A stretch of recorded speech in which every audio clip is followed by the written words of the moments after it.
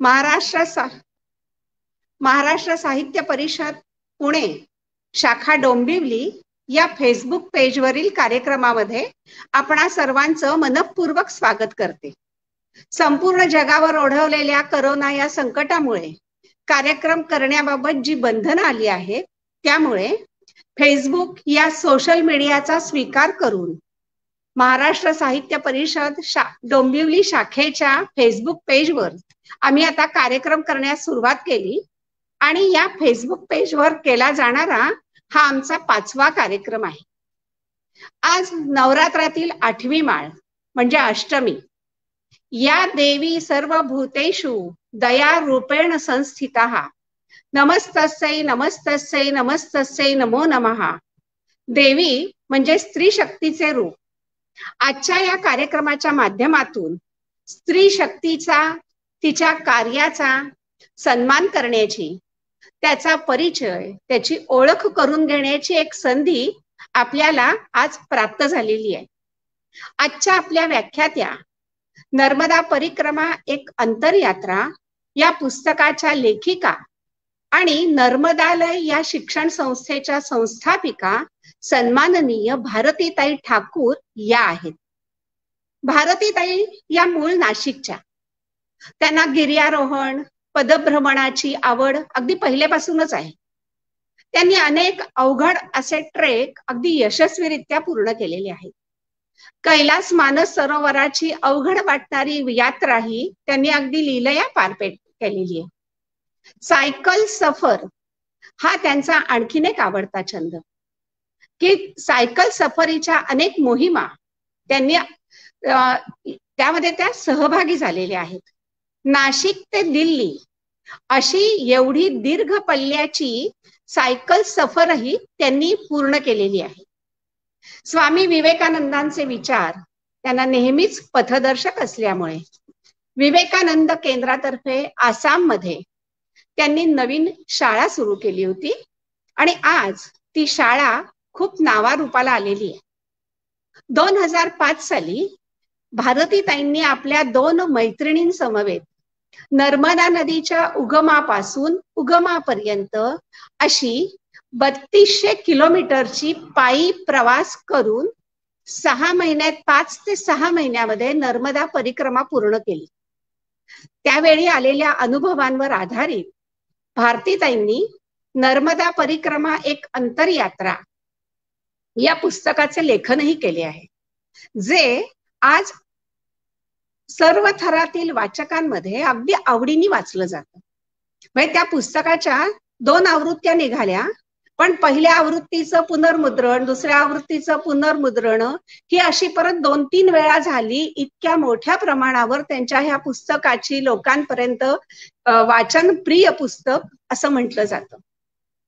नर्मदा परिक्रमा त्यांनी जी केली ती त्यामागे त्यांची नर्मदा मैयावर असणारी श्रद्धा तर आहेच. पण नर्मदा परिक्रमेविषयी एक आकर्षणही त्यांच्या मनात होत. या दरम्यान निसर्गाशी होणारा संवाद म्हणजेच अध्यात्म अशीही त्यांची भूमिका होती. कारण नर्मदा परिक्रमा करत असताना चालत करताना त्या परिक्रमेच्या दरम्यान जो निसर्ग भेटतो तो म्हणजे जणू देव अशी त्यांची त्यामागची भूमिका होती. ही परिक्रमा करताना खर तर काही नेम आचरणात आणायचे असतात. आणि ते आचरणात आणण्याचे नेम तसे कठीण असतात. त्यातला एक नेम असतो तो म्हणजे सदाव्रत मागण्यास जाणे.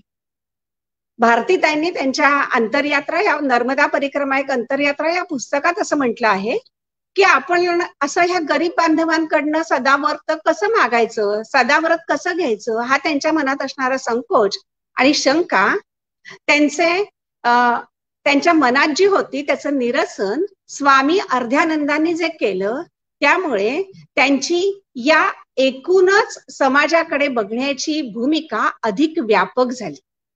कारण त्यांना त्या स्वामीजींनी असं सांगितलं की तुम्ही ज्यांच्याकडे सदाव्रत मागायला जाता ते सदाव्रत देणारा माणूस तुम्हाला देताना ती भिक्षा म्हणून देतच नसतो. त्यातून त्याला मिळणारा आनंद मोठा असतो. कारण वसुधैव कुटुंबकमचा अनुभव या प्रथेतून घेतला जात असतो. असं हे करत असताना त्यातूनच मी माझी सांपत्तिक स्थिती शिक्षण सामाजिक प्रतिष्ठा हे सगळं गळून पडतं आणि यामुळेच भारतीताईंचं असणारं सामाजिक भान आणखीन विस्तारत गेलं.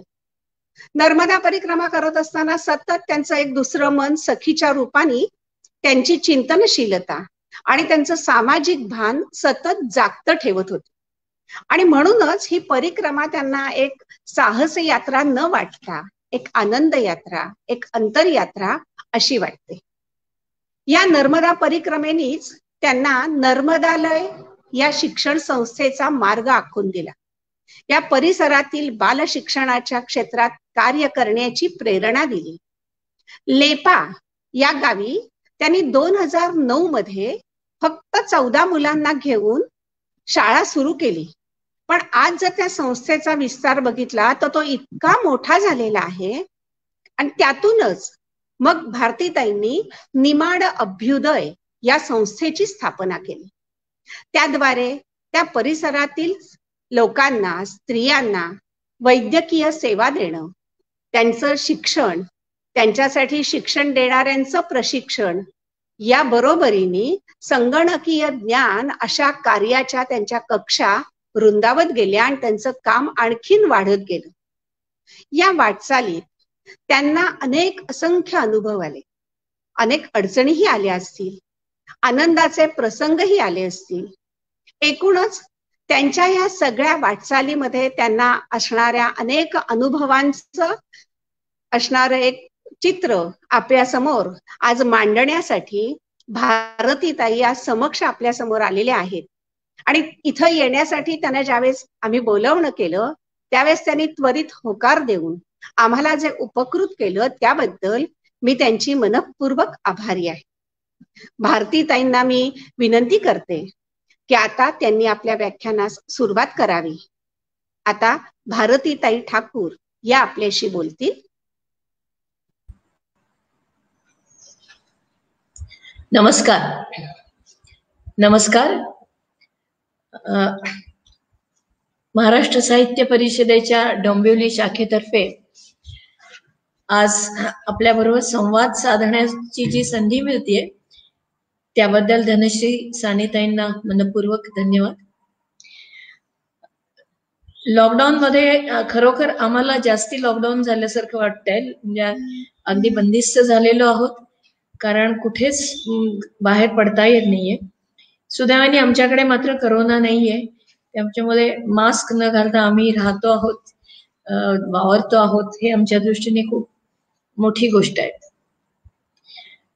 नर्मदा परिक्रमा ते नर्मदालय असा आजच्या आपल्या संवादाचा विषय आहे. आपल्यापैकी कोणी जर प्रश्न विचारले तर मला जास्ती आवडेल. नर्मदा परिक्रमा आता जसं त्यांनी सांगितलं की ट्रेकिंगची गिर्यारोहणाची मला आवड होती. हे जरी खरं असलं तरी नर्मदा परिक्रमा केवळ एक ट्रेकिंग किंवा मनसोक्त भटकंती अशासाठी नव्हती. त्याच्यामागे काही उद्देश पण होते.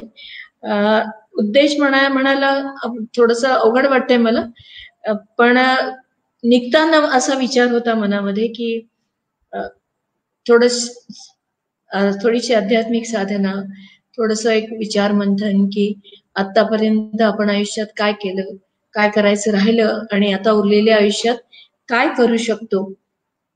असा एक विचार थोडासा करावा परिक्रमेच्या दरम्यान. ही पण एक इच्छा होती. निसर्ग पाहायला मिळणार होताच. नर्मदा माईचं सान्निध्य लाभणार होतं. हे सगळं खरं असलं तरी आता जेव्हा मी त्या परिक्रमेकडे मागे वळून बघते तेव्हा मला असं वाटतं की ते फक्त एक निमित्त होतं. कारण आता सध्या जे काही काम इथे चालू आहे त्याला काहीतरी कारण पाहिजे होतं की नाशिक सोडून मी इथे का यावं? या मुलांचे आणि माझे काय ऋणानुबंध होते?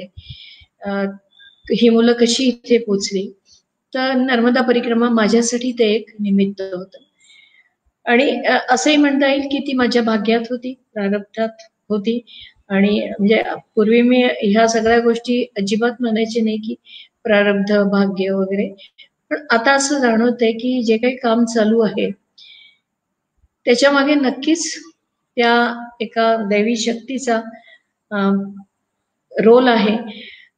कुणी मानो न मानो पण आज आठ वर्षामध्ये जे काय आठ दहा वर्षात जे काम इथे विस्तारलं आहे त्यामध्ये अनेक लोकांनी इथे येऊन जे काही आम्हाला सपोर्ट केलेला आहे. अनोळखी असतील ओळखीचे असतील या सगळ्यांनीच. त्यामुळे कुठेतरी असं जाणवतं की हे पूर्वनियोजित होतं काम.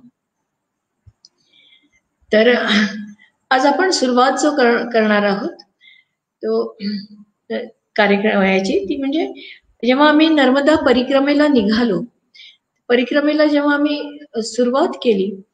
आता धनश्रीताईंनी सांगितलं तसं की भिक्षा मागू भिक्षा म्हणजे सदाव्रत मागायचं. थोडा संकोच होता. संकोच अशासाठी होता की आतापर्यंत असं कधी कोणाला मागितलं नव्हतं. आणि एक विचार मनात होता की जर आपण नोकरी करतो आहोत आर्थिक दृष्ट्या सक्षम आहोत आपला स्वतःचा खर्च उचलू शकतो तर मग भिक्षा का मागायची? पण आम्हाला स्वामी अर्घ्यानंदांनी खूप छान उत्तर दिलं होतं. ते म्हणाले की तुम्ही ज्याला भिक्षा मानता ती मुळात तुम्हाला वाटतं तसं. पण देणाऱ्याला ती भिक्षा वाटत नाही. त्याला असं वाटतं की तुम्ही परिक्रमा करता आहात म्हणजे नर्मदा माईचे लेक माईचे लेकरं आहात. आणि ते नर्मदा किनारी राहतात म्हणून ते पण नर्मदा माईची लेकरं. आणि मग भावंडांमध्ये काही एकमेकांना भिक्षा देत नाहीत. ते शेअरिंग असतं. आणि या सदाव्रत घेण्यामध्ये तुम्हाला वसुदैव कुटुंबकमचा एक सुखद अनुभव मिळेल. तर आम्ही ते त्यांचं म्हणणं ऐकलं आणि सदावरत घेण्याचं ठरवून परिक्रमेला निघालो. परिक्रमा करत असताना अनेक अनुभव आले. ते सगळेच अनुभव आता आपल्याला एवढ्या तास सव्वा तासाच्या कालावधीत त्याचा मागोवा घेणं शक्य होणार नाही. पण अनेक ठिकाणी असं झालं की घरामध्ये काहीच नाहीये खायला. उदाहरणार्थ आमचा पहिलाच दिवस जगतपूर नावाच्या ठिकाणी आम्ही पोहोचलो होतो. आणि त्या पहिल्याच दिवशी ज्या कुटुंबात आम्ही राहिलो तिथे जेवायला काहीच नव्हतं. आणि ती जी महिला होती ती जी भगिनी होती ती आम्हाला काही जेवायला देऊ शकत नाही म्हणून खूप दुखावली होती. तिच्या डोळ्यात अक्षरशः अश्रुधारा येत होत्या की अरे परिक्रमावासी माझ्या घरी आलेत आणि मी त्यांना काही देऊ शकत नाही मी विचार केला की माझ्याकडे असं काही घडलं असतं की काही कारणाने मी कोणाला आलेल्या पाहुण्याला जेव घालू शकले नसते तर सॉरी म्हणून मोकळी झाली असते. पण माझ्या डोळ्यात पाणी आलं असतं का? नव्हतं नसतं आलं. कारण ते कोरडे पण आपल्याला परिस्थितीने दिलंय की आताच्या या आधुनिक शिक्षणाने दिलंय मला सांगता येणार नाही. पण हे मला सततच जाणवत राहायचं की काहीतरी चुकतं आहे. आपलं चुकतं आहे. आणि असे अनुभव आम्हाला अनेक ठिकाणी येत गेले की खूप गरीबातल्या गरीब कुटुंबात खूप प्रेमाचं आतिथ्य झालं. अगदी जिथे उधार आणून स्वयंपाक करायला लागतो अशा ठिकाणी परिक्रमावसी आले आहेत आणि त्यातूनही महिला आल्यात म्हणून मग खीर आणि भाजीचा पुरीचा बेत आम्हाला संकोच व्हायचा. पण एक गोष्ट या परिक्रमेत सातत्याने जाणवत गेली की शिक्षण आणि दानत शिक्षण आणि माणुसकी शिक्षण आणि आत्मविश्वास शिक्षण आणि डिसिजन मेकिंग यामध्ये जे काय आजकाल आपल्याला व्यस्त प्रमाण आढळत आहे मी अनेक नोकरी करणाऱ्या महिला पण बघितलेल्या आहेत. आर्थिकदृष्ट्या स्वतंत्र असतात. पण तरी सुद्धा कुठलाही आर्थिक निर्णय घ्यायचा असेल तर त्या स्वतः घेऊ शकत नाही एकत्र कुटुंबाला विचारून निर्णय घ्यावा हे ठीक आहे. पण इमर्जन्सी मध्ये सुद्धा त्या असा डिसिजन किंवा चांगल्या कामामध्ये सुद्धा घेऊ शकत नाही. तर हे मला या परिक्रमेच्या दरम्यान वारंवार जाणवत होतं की काहीतरी आपल्या शिक्षण पद्धतीमध्ये गडबड आहे. आपण खूप कोरडे होत चाललो खास करून शहरातली मंडळी जी आहेत. मी सुद्धा मी पण शहरात राहत होते. तर आपले परस्परांमधले संबंध सुद्धा खूप कोरडे होत चाललेले आहेत. तर नेमका काय गरजेचं आहे? हा विचार पण परिक्रमेच्या काळामध्ये सातत्याने चालू होता. आम्ही जेव्हा परिक्रमेला निघा म्हणजे निघालो आणि चालणं किंवा पाठीवर सामान हे काही खूप कठीण नव्हतं पण तरी आम्हाला जाणवलं की आपल्याकडे गरजेपेक्षा खूप काही जास्त सामान आहे. आणि त्याची आपल्याला खरंच गरज नाहीये. मग ते एक एक सामान बॅगेतनं निघत गेलं. लोकांना कधी जिथे गरज असेल तिथे देत गेलो कोणा कुठे ठेवून दिलं. अशा प्रकारे आम्ही कमीत कमी सामानामध्ये ही परिक्रमा करायचं ठरवलं आणि काही अंशी ते साध्य पण झालं. तर हे ही परिक्रमा करत असताना आम्ही ओंकारेश्वरच्या पुढे एक काक्रिया नावाचं एक ठिकाण आहे. तर ओंकारेश्वर पासूनच माझी तब्येत जरा गडबड झाली होती. आणि उलट्या जुलाब ताप. आणि तापही खूप होता. पाणी पचत नव्हतं. जेवण तर फार पुढची गोष्ट. पण एक चमचावर जरी पाणी घेतलं तरी ते लगेच उलटून पडायचं. आणि आसपास कुठेही डॉक्टर नव्हते. कुठलंही मेडिकल स्टोअर नव्हतं किंवा एखादं प्राथमिक उपचार केंद्र पण नव्हतं. जवळची जी काय थोडीफार औषधं होती ती पण संपली. आणि मग अशा वेळी काय करायचं समजत नव्हतं. एका नर्मदा मंदिराच्या हॉलमध्ये आमचा मुक्काम होता. आणि तिथला जो पुजारी होता तो माझी अवस्था पाहून खूप घाबरला. त्याला असं वाटलं या बाईचं काही रात्री खरं नाही. किंवा एक दोन दिवसात ती प्राण सोडेल.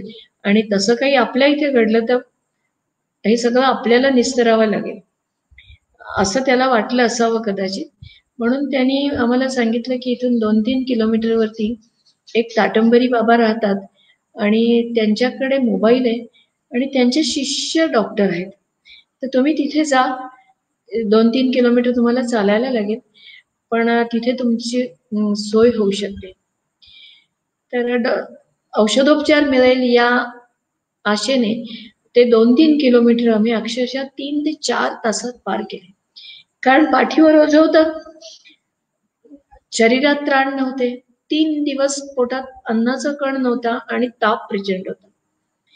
तर अशा परिस्थितीत ते दोन तीन किलोमीटर तीन चार तासामध्ये आम्ही तिथे पोहोचलो आणि त्या ताटंबरी बाबांनी त्यांच्या डॉ डॉक्टर शिष्याला तर बोलवलंच पण त्यांनी स्वतः जवळचं एक जडीबुटीचं औषध दिलं.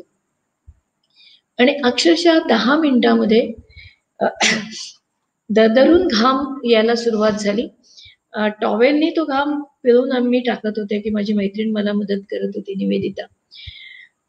आणि थोड्या वेळाने त्यांनी त्यांच्याकडचं जे ते औषध दिलं होतं त्याच्या अंगाला चोलायला लावलं आणि पोटातही घ्यायला लावलं होतं. अत्यंत कडवट अशा चवीचं औषध होत. त्या क्षणी मनात असा विचार आला की आपण नर्मदा किनारी मरणार आहोत पण मरताना आपल्या पोटात नर्मदा जल जात नाहीये तर हे कडवट चवीचं औषध घेऊन मरायला लागणार. आहे खूप वाईट वाटत होतं. पण मिरायकल व्हावं तसं ताप उतरला अर्ध्या पाऊण तासामध्ये. आणि त्यानंतर ते औषध घेतल्यानंतर एकही उलटी जुलाब झाला आश्चर्य असं पुन्हा की तासाभरानी त्या साधूबाबांनी गव्हाची जाड चुलीवर भाजलेली रोटी त्याला ते इकडे का गाकर म्हणतात. आणि अत्यंत तिखट असं मिरची इथली मिरची अशी झाल असते अत्यंत तिखट असं वरण तुरीच्या डाळीचं. ते मला खायला दिलं आणि ते पचलं देखील. त्यांना आम्ही विचारलं की तुम्ही कुठलं औषध दिलं ते? ते हसायला लागले. ते म्हणे मी कुठलं औषध देणार? इथले जडीबुटीची घेऊन येतो आणि त्याचं औषध बनवून ते तुम्हाला दिलं होतं. त्या दिवशी त्यांच्या एका शिष्यानी आम्हाला सांगितलं की आजची रात्र काही तुम्ही इथे थांबू शकत नाही कारण महाराजांची कुटी खूप छोटी आहे. तर तुम्ही माझ्या घरी चला तुम्हाला बरं वाटलं की तुम्ही पुढे प्रवासाला निघा. तर आम्ही त्याच्या घरी गेलो एकत्र कुटुंब होतं. गरीबच परिवार होता की असे खूप सदन लोक नव्हते. त्यांच्याशी बोलताना असं लक्षात आलं की तीन भावांचं कुटुंब आहे. घरात आठ दहा पेक्षा जास्ती मुलं आहेत. आई वडील पण आहेत त्यांचे. आणि जमीन मात्र तीन चार बिघाच आहे. एकत्र कुटुंब असल्यामुळे सगळेजण एकत्र काम करतात शेतामध्ये. तर त्या मुलांशी मी गप्पा मारायला लागले थोडा ताकद आली होती शरीरात. त्यांच्याशी बोलताना असं जाणवलं की कोणी सातवीत आहे आठवीत आहे पाचवीत आहे. तर सुरुवातीला तर एखादी गोष्ट सांगितली. काय गाणं सांगितलं पण म्हणून म्हणायला सांगितलं. पण नंतर म्हटलं की आता तुम्ही एक काम करा तुमची वही आणि पेन घेऊन या. मी तुम्हाला काही हे देते कोडी घालते. तर ते मुलं माझ्याकडे बघायला लागली आणि म्हणाली की नाही आम्हाला लिहिता वाचता येत नाही म्हटलं अरे तुम्ही आत्ता म्हणालात की मला आम्ही सातवीत किंवा आठवीत आहोत पाचवीत आहोत. मग लिहिता कसं येत नाही? तर त्यांच्या चेहऱ्यावर फार मजेशीर भाव होते. की काय बावलटबाई आहे? आम्ही सातवी आठवीत असण्याचा आणि आम्हाला लिहिता वाचता येण्याचा काय संबंध आहे? थोड्या वेळाने त्यांचे आई वडील जेव्हा आले त्या खोलीमध्ये तेव्हा त्यांना मी विचारलं. मला आश्चर्य वाटलं होतं खूप. म्हटलं ही मुलं म्हणतात की त्यांना लिहिता वाचता येत नाही आणि मग सातवी आठवीत कशी काय? तर ते म्हणाले हा ते म्हणतात ते बरोबर आहे. त्यांना लिहिता वाचता नाही येत. पण आजकाल मास प्रमोशन मुळे आठवी पर्यंत कोणाला नापास करतच नाहीयेत. आणि ही मुलं रेग्युलर शाळेत जाऊ शकत नाहीत. आम्ही नर्मदा किनाऱ्यावर राहतो. शेती आमची नर्मदेच्या जवळच आहे. त्याच्यामुळे नर्मदेत पाईपलाईन टाकून आमच्या शेताला पाणी पुरवठा होतो. पाण्याची आमच्याकडे कुठली कमतरता नाहीये. तर वर्षातून आम्ही साधारण तीन ते चार पिकं घेतो. मग पेरणीच्या वेळी आणि कापणीच्या वेळी आम्हाला ही मुलं लागतात. मध्ये गवत जर वाढलं तर खुरपणीच्या वेळी पण लागतात. मग अशा वेळी मजूर ठेवणं आम्हाला परवडत नाही कारण जमीन कमी आहे. मग ही मुलं आम्हाला मदत करतात. घरी गाई गुरं आहेत बकऱ्या आहेत तर त्यांना चरायला न्यायचं तर आम्हाला माणूस परवडत नाही. मग आम्ही या मुलांनाच चरायला पाठवतो. घरात लहान भावंड असतात त्यांना सांभाळायला कोणी लागतं? मुली शाळेत जात नाहीत. पण असं काही नाही आठवी पर्यंत ते त्यांना सरकार पास करणारच आहे मधून मधून जेव्हा त्यांना फुरसत असते तेव्हा ही मुलं शाळेत जातात. आणि त्या शाळेत जाण्याचा फायदा काय? तर त्यांना दोन युनिफॉर्म्स वर्षभराचे मिळतात. आणि जेवण मिळतं कधी कधी म्हणजे त्यांचं शाळेत गेले तर जेवण मिळतं. मग अशा वेळी मला माझ्याकडे खरंच काही उत्तर नव्हतं. आणि हे सांगत असताना त्यांनी अजून एक गोष्ट सांगितली ती म्हणजे मी अवाक झाले. खूप विचार करायला लावणारी ती गोष्ट होती. ते म्हणाले आमच्या गावातली काही मुलं त्यांच्या नातेवाईकांकडे शिकायला शहरात गेली. आणि शहरात गेल्यानंतर कोणी दहावी बारावी झाले. कोणी बी ए बी कॉम पण झाले. पण ही मुलं जेव्हा शहरात शिकून गावात परत आली तेव्हा त्यांना शेतात काम करायला चिखलात काम करायला आवडत नाही. त्यांना गाईचं शेण उचलायला आवडत नाही. त्यांना फक्त टीव्ही बघायला आवडतो किंवा त्यांच्या मित्रांची गप्पा मारायला एखाद्या दुकानाच्या ओट्यावर बसून गप्पा मारणं किंवा गावात चौबाल नावाची जागा असते की कुठली मीटिंग असेल तर तिथे ते बोलतात. तर तिथे बसून मीटिंग तिथे बसून गप्पा मारणं आणि त्यांना काही सवयी पण लागलेल्या आहेत. गुटखा खातात बिडी सिगरेट पितात काही काही मुलं हे पण करतात दारू पण पितात. कारण त्यांना बोलणार किंवा कोणी बोललं तर ते ऐकून घेत तर असं जर का शिक्षण असेल की जे आम्हाला आमच्या मातीपासून दूर नेणार असेल. आमच्या मुलं आमची जी मुलं आहेत शेती आहे गोपालन आहे त्यापासून दूर नेणार असेल तर ते शिक्षण काय कामाचं? आणि मग शिकून जर ते शहरातच जाणार असतील तर पुढेही शेती कोणी करायची?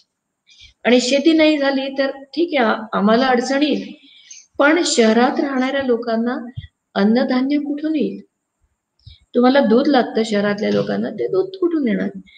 तर आजची जी खेडी आहेत आपल्या भारतातली ती खेडी आपल्या सगळ्याच अर्थव्यवस्थेचा कणा आहे. आणि शेती किंवा हे गोपालन बकऱ्या पालन बकरी पालन ही सिस्टम सगळी जर बंद पडली. तर खूप मोठा प्रश्न येईल. आणि त्यांच्या बोलण्यात मला खरोखर खूप तथ्य जाणवलं.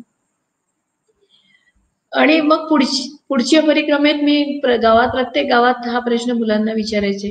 की काय रे तुम्हाला तुम्ही शाळेत जाता तर तुम्हाला लिहिता वाचता येतं का? मुलं हो म्हणायची.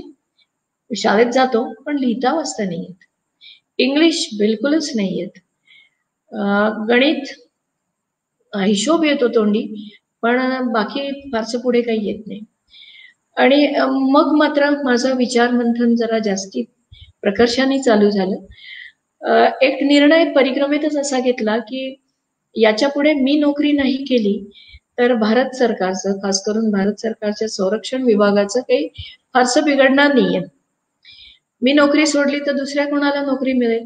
आणि मी नोकरी सोडली तरी मी उपाशी राहणार नाही कारण मला भारत सरकार निवृत्ती वेतन देणार आहे. त्याच्यामुळे आयुष्यभर मला माझ्या खाण्यापिण्याचं काय करायचं पोटाचं काय करायचं हा प्रश्न राहणार नाही मग निर्णय घेतला की आता परिक्रमा संपली की परत या क्षेत्रात यायचं आणि बालशिक्षणात थोडस काम करायचं.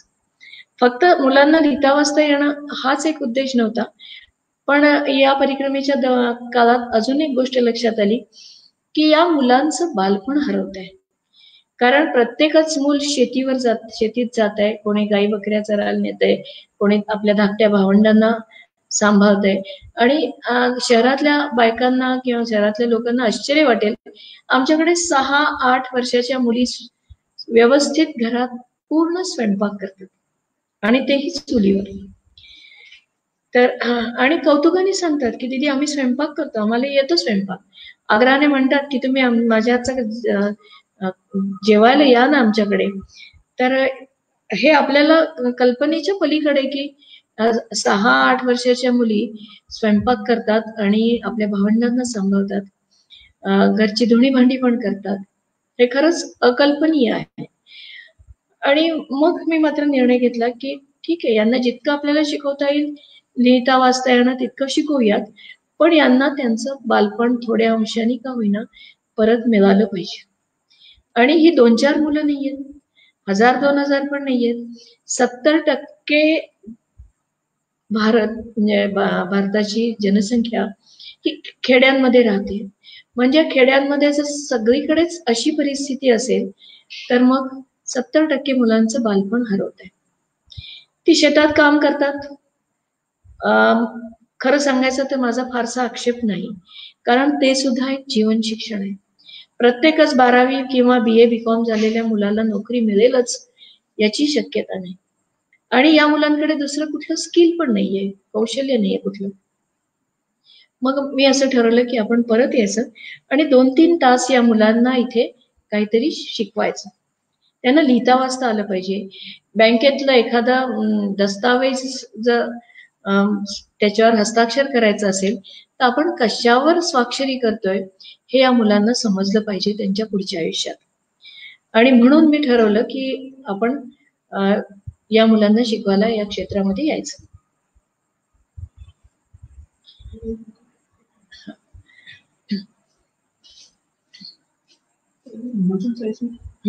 एक नंबर कौन सा देखिए वो लेफ्ट हो गए शायद या फिर उनके इधर कुछ ना कुछ कनेक्टिविटी का issue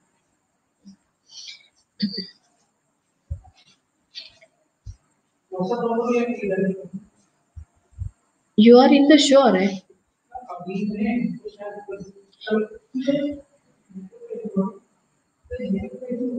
तर दोन हजार नऊ साली माझ्या पुस्तकाचं जेव्हा प्रकाशन झालं त्या प्रकाशनानंतर मी इथे मंडलेश्वरला येऊन पोचले मंडलेश्वर हे नर्मदेच्या किनाऱ्यावरचं एक छोटस गाव आहे. आणि त्या गावामध्ये एक भाड्याने घर घेतलं. मंडलेश्वरला आम्ही परिक्रमेत थांबलेलो होतो. आणि तिथे काही जणांशी परिचय पण झालेला होता. त्यांना फोन करून एखादा घर भाड्याने बघून ठेवा. आणि त्याप्रमाणे भाड्याच्या घराची व्यवस्था झाली. तिथून मंडलेश्वर पासून लेपा नावाचं जे गाव आहे जिथे आता सध्या आम्ही हा प्रकल्प चालवतो ते आठ किलोमीटर अंतरावरती आहे. माझी इच्छा होती की मला रोज नर्मदा माई दिसली पाहिजे. आणि म्हणून मग मी तिथे रोज येत होते. आठ किलोमीटर पायी यायचे. आमच्याकडे आजही सरकारी किंवा खाजगी बसेस नाही आहेत ऑटो रिक्षा आहेत आणि हा रस्ता चंबलकी घाटी ज्यांनी पाहिलं असेल त्यांना अंदाजे तशा प्रकारचा रस्ता आहे. आणि लोकांनी ठिकठिकाणी रेतीसाठी मोठमोठे खाणी खडून ठेवलेले आहेत. तर अशा रस्त्याने मी आठ किलोमीटर सकाळी पायी यायचे. आणि दुपारी बारा वाजता पुन्हा आठ किलोमीटर पायी जायचे. रोजचं असं सोळा किलोमीटरचं पायी चालणं व्हायचं माझं. आणि मी मात्र आनंदात होते की नर्मदा माई दिसते आपल्याला. सुरुवातीला या गावामध्ये एक सर्वे केला. प्रत्येक घरी जाऊन मुलांना कुठला विषय आवडत नाही कुठला आवडतो कुठला कठीण वाटतो याचा सर्वे केला. आणि आश्चर्य असं की त्याच्यात कुठलाच विषय आवडतो असंही नव्हतं कुठलाच विषय आवडत नाही असंही नव्हतं कारण काहीच समजत नव्हतं. त्या मुलांना मी विचारलं की तुम्ही माझ्याकडे सकाळी दोन तीन तास शिकायला याल का? तुम्हाला वया पुस्तकं आणायची नाही येत तुम्हाला मी होमवर्क देणार नाहीये तुम्हाला परीक्षा नसेल आणि तुम्हाला आलं नाही काही चुकलं काही तर मी रागवणार पण नाही. मार पण मिळणार नाही. तर पहिल्या दिवशी चौदा मुलं आली. गाणी गोष्टी खेळ नाटक या माध्यमातून शिक्षण सुरू झालं. आणि आश्चर्य असं की दीड महिन्यामध्ये चौदाची एकशे सव्वीस मुलं झाली. तर एकशे सव्वीस नेमका आकडा कसा माझ्या लक्षात राहिलाय? कारण त्या दिवशी मी मला सगळ्या मुलांची नावं समजावीत. कोण कोण मुलं आपल्याकडे येत आहेत त्यासाठी रजिस्टर बनवलं आणि त्या रजिस्टरमध्ये सगळ्यांची नावं लिहिली होती. तर एकशे सव्वीस हा आकडा तिथे मला दिसला. त्या दरम्यान मला या सगळ्या मुलांशी बोलताना थोडा घशावर ताण यायला लागला. म्हणून मग मी गावातल्याच दोन महिलांना एक गावातली सून होती नववी शिकलेली होती. पण सरस्वती शिशु मंदिरमध्ये शिकलेली होती. आणि नववीत असतानाच घरच्यांनी लग्न करून दिलं. म्हणून पुढचं शिक्षण थांबलं होतं. पण अभ्यासात चांगली होती. आणि माझी गरज पण खूपच साधी होती. की मुलांना बारा बाराखडी मुलाक्षर A B C D small letters capital letters छोटी छोटी वाक्य किंवा शब्द एवढंच शिकवायचं होतं. आणि एक बारावी झाली झालेली गावातलीच मुलगी जी मामाकडे राहून शिकून आलेली होती. तर या दोघींना मी मदतीला घेतलं. माझ्या पेन्शन मधनं त्यांना थोडंफार एक मानधन देत होते. आणि एकशे सव्वीस मुलांबरोबर आमचं हे काम सुरू झालं. गंमत अशी झाली की एक दिवस एक कोणी माणूस त्याच्याकडे मोठा असा शूटिंगचा कॅमेरा होता. आणि बर्म्युडा घातलेला डोक्यावर हॅट वगैरे होती. आमच्या गावात एका टपरीवर बसून चहा पित होता. आणि मी तिकडनं आले. मला बघितल्याबरोबर मुलांनी दिदी आली दिदी आली म्हणून उड्या मारत माझ्याबरोबर चालायला सुरुवात केली. कुणाच्याच हातात पुस्तक नव्हतं स्कूल बॅग नव्हती युनिफॉर्म नव्हता आणि पायात चपलाही नव्हत्या. तर पंचवीस तीस मुलं माझ्या मागे धावत धावत गप्पा मारत यायला चालायला लागली. तर त्या माणसाने त्या चहाच्या टपरीवाल्याला विचारले की बाई कोण आहे? आणि मुलं तिच्यामागे का गेली? म्हणाला ती काहीतरी शिकवते शाळा चालवते. म्हणजे अशी कशी शाळा वया पुस्तकं नाही तर तुम्हीच जाऊन बघा ना म्हणे. तो बघायला आला आणि मुलांचा एकूणच प्रोग्रेस पाहून खूप इम्प्रेस झाला. सहाच महिने झाले होते आमच्या या सगळ्या गोष्टीला. तर त्यांनी मला विचारलं की मी नर्मदेवर एक डॉक्युमेंटरी बनवते आहे. तर मी या मुलांचं एक पाच एक मिनिटाचं शूटिंग घेऊ शकतो का? कारण त्याला जेव्हा मी सांगितलं की ही मुलं शेतात मजुरी करतात गाई बकरी बकऱ्यांना चरायला नेतात घरातली सगळी कामं करतात तर खूप कौतुक वाटलं त्याला आणि त्याच्या दृष्टीने ती बालमजुरी होती. तो म्हणाला की मी पाच मिनिटं उद्या यांची डॉक्युमेंटरी घ्यायला येतो. तो निघून गेला आणि मी त्या मुलांना नंतर म्हणाले की बघा उद्या तुमचं शूटिंग आहे आणि तुम्हाला जरा छान जरा नीटनेटकं होऊन यायचंय. व्यवस्थित स्वच्छ कपडे घालून या तेल लावून भांग पडून या. तर त्या मुलांना शूटिंग शब्द काही समजला नाही. मग मुलं म्हणाली की शूटिंग म्हणजे काय? मला नेमका हिंदीत शब्द आठवे ना त्या क्षणी. मी म्हटलं अरे तुम्ही टीव्हीवर जसा शाहरुख खान आमिर खान सलमान खान वगैरे लोक बघता ना ऋतिक रोशन बघता तसे तुम्ही पण दिसाल. तर विषय संपला तिथे. दुसऱ्या दिवशी जेव्हा मी आले तर आमच्या गावात प्रचंड गर्दी होती आणि पोलीस पण आलेले होते. मला पाहिल्यानंतर आमचा सरपंच रागारागाने पुढे आला. आणि म्हणाला की मला तुम्ही काल का नाही कल्पना दिली? किती मला हे काम अवघड होऊन बसलेलं आहे. म्हटलं काय झालं रे? तर म्हणाला की अहो आज शाहरुख खान आमिर खान सलमान खान येणार आहे तुम्ही सांगितलं का नाही मला? असं नाहीये. म्हटलं मी त्यांना वेगळं सांगितलं की उद्या तुम्ही शूटिंग झालं की तुम्ही तसे टीव्हीवर दिसाल. तुम्हाला बघता येईल टीव्हीवर. तर जे काय घडलं ते घडलं पण ते शूटिंग बघायला आसपासच्या गावातली असंख्य माणसं आलेली होती. आणि ती- मंडळी म्हणाला नंतर येऊन भेटली आणि म्हणाली की दीदी तुम्ही जे शिकवतायत तसं आमच्याही गावात सुरू करा कारण आमच्याही गावातल्या मुलांना काहीच येत नाही. सरकारी शाळेत एक किंवा दोन टीचर असतात आणि त्याच्यातल्या एक टीचरला सरकारी कामच इथे खूप असतात काही जनगणना असते या मुलांच्या स्कॉलरशिपचं काम असतं. आजकाल ऑनलाईन मॅपिंग वगैरे अनेक भानगडी सुरू झालेल्या आहेत. तर एकटा शिक्षक एवढ्या दीडशे दोनशे मुलांना कसं शिकवणार? त्यांना खरंच काही येत नाही. तर तुम्ही या मुलांना आमच्याही गावात या मुलांना शिकवायला या. मी त्यांना म्हटलं की मला जागा लागेल आणि मला मदत करणाऱ्या एक दोन व्यक्ती लागतील. मग मुली असतील गावातली थोडंफार शिकलेली मुलं असतील तरी चालेल. पण मला सपोर्ट लागेल कोणाचा तरी. तर त्यांनी तयारी दाखवली आणि लेपाला एका गावात सुरू झालेलं हे काम हळूहळू पाच गावांपर्यंत पसरलं.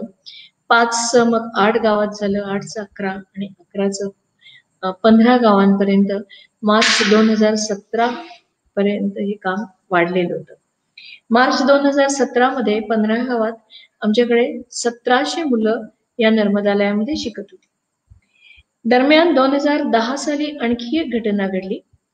मी थोडस पुन्हा मागे जाते.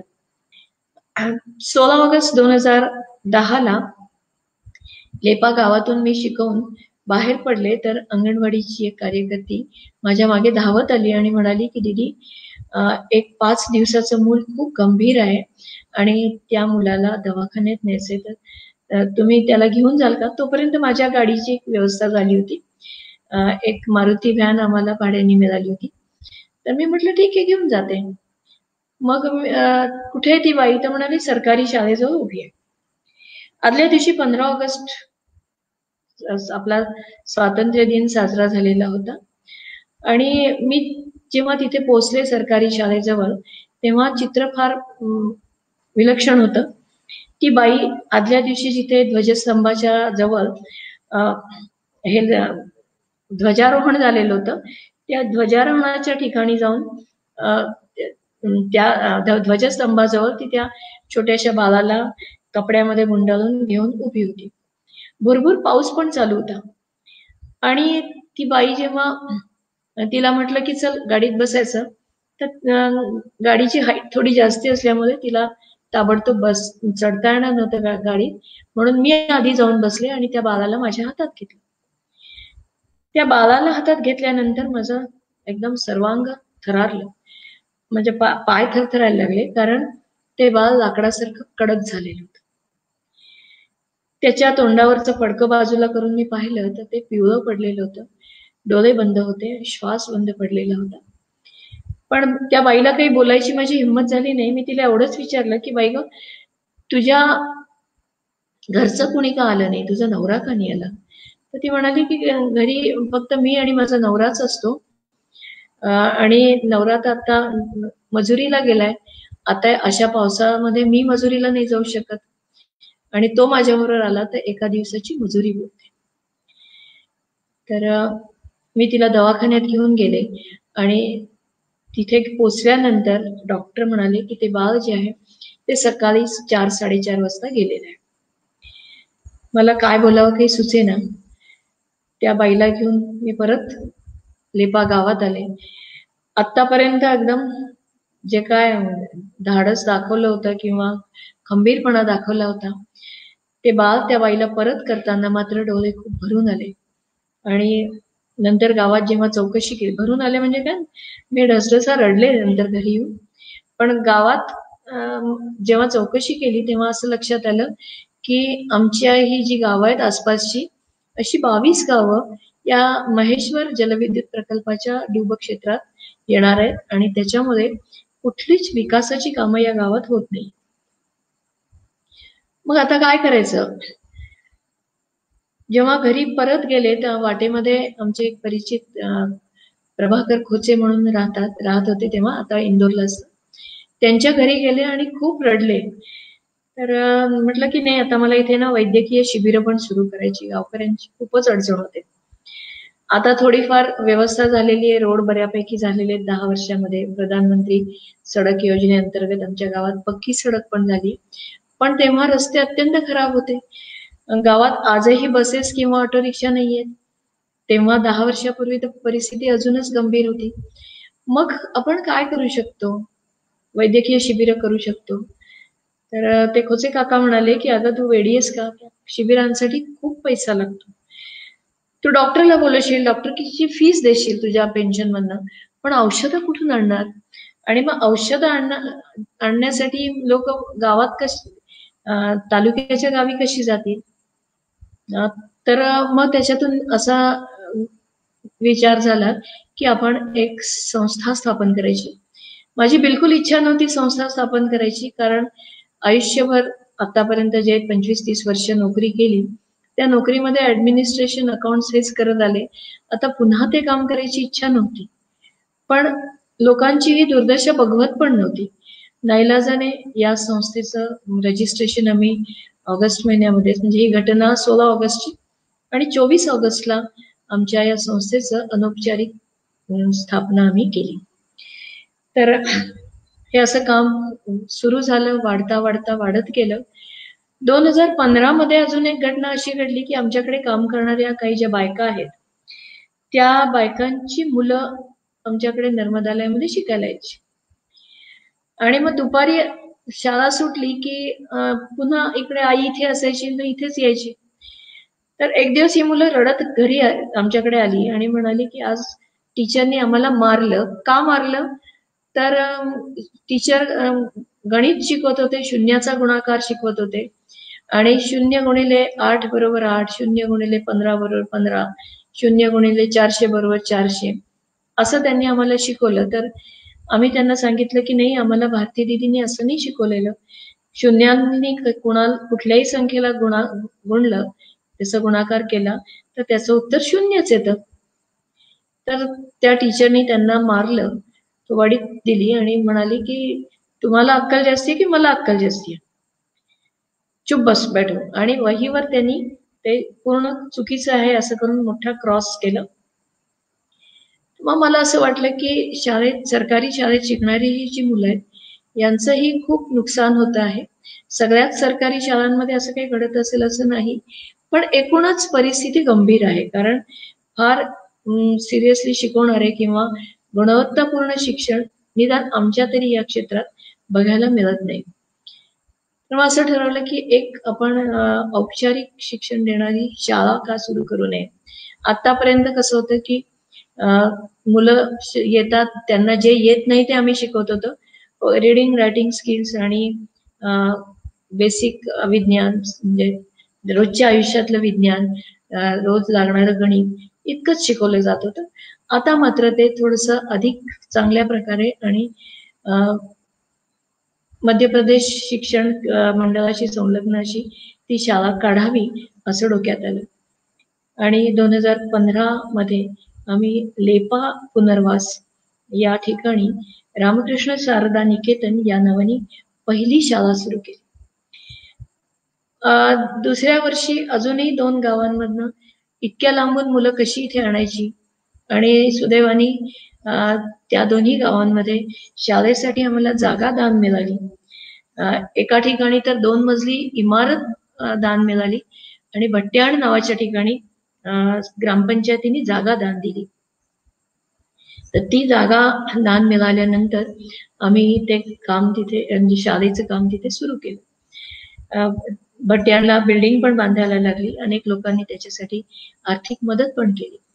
आणि मग या अशा तीन शाळा ज्या मध्य प्रदेश शिक्षण मंडळाशी संलग्न आहेत तिथे हे काम सुरू झालं. जेव्हा मी स्वतः शाळेत होते तेव्हा मला अनेक प्रश्न पडायचे की आपण जे काय गणित शिकतो आहोत आपण जे काय केमिस्ट्रीची सूत्र पाठ करतो आहोत भूमिती शिकतो आहोत किंवा इतिहास भूगोल सुद्धा जो काय शिकतो आहोत त्या शिक्षणाचा आपल्या पुढच्या आयुष्याशी खरंच किती संबंध आहे?